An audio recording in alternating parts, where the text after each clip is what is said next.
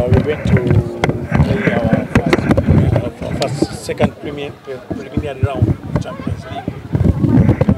Here they want to know your squad and everything. Well, firstly, uh, the Champions League is uh, our main target uh, this year. Huh? We have to to to be better than uh, last year. And the, target is to reach the semi-final, and uh, for sure we are we have to be very very rigorous, disciplined, serious during this first match because uh, everything is possible in football, and we cannot underrate any team.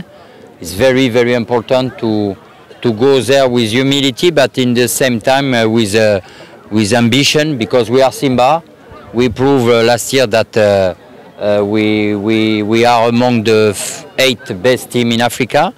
And uh, it is another competition now, but uh, we have to continue on this way. So uh, uh, we go there with a lot of ambitions and, uh, and uh, respecting the, the, the next opponent. You say that you don't want to underrate any team. Mhm. How did you observe the team and what's your call to Simba lovers? Yeah, yeah. Well, you know, uh, I watched their, their last match. This is a very good team, very solid, very aggressive, very very good in the duels. huh? And uh, like I say already, I explained to my players, they have a good process offensively. Uh, they move a lot between the lines, so we have to control them. Defensively, we have to be clever, disciplined. It is what uh, we have done today during the, the training session. So, uh, completely sure that uh, uh, my player understand what I expect from them in this compartment. But you know, if we are able to control the, this offensive, uh, we for sure we we will develop a lot of opportunity to score, uh, like uh, like uh, every match. What's your call to Simba fans? Yes, Simba fans, uh, uh, you know, uh, we try to, how can I say? You know, I'm very frank. eh, uh, we, we were very sad after the Yanga match, very, very sad. We were also very disappointed uh, against uh, Biashara because we deserved the, the, the victory eh, and uh, we cannot blame anybody. We are together, we are like a family. And uh, fans are our family and uh, we have to make them very very happy. Uh, not disappointment. We have to be clear confident and very proud when we when we will come back from botswana.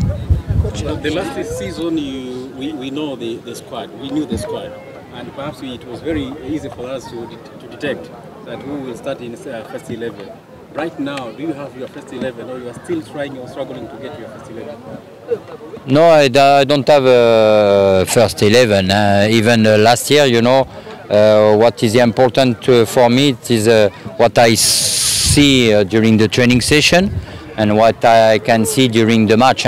Uh, I talked uh, early about uh, Duncan Nyoni. He was very good against uh, against Dodoma. So you know, he, he, we need to give him a lot of confidence. huh? Like Kennedy, huh? he played very well against Benin with the national team of Tanzania. So it is also a big option for us. And you know, we we cannot break the the way uh, of the very very good player.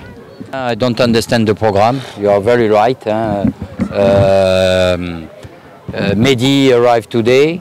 Uh, Nyoni and uh, Peter Banda will come back on the tomorrow morning. So it is a problem, but uh, we need to find so solution for sure. I, I would like to, to, to work with my player every day. huh?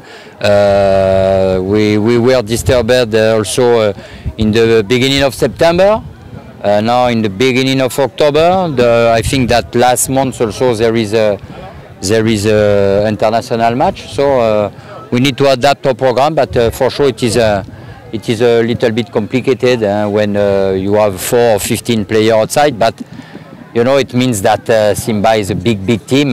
when you have a lot of international players, it's also very very good for for the club.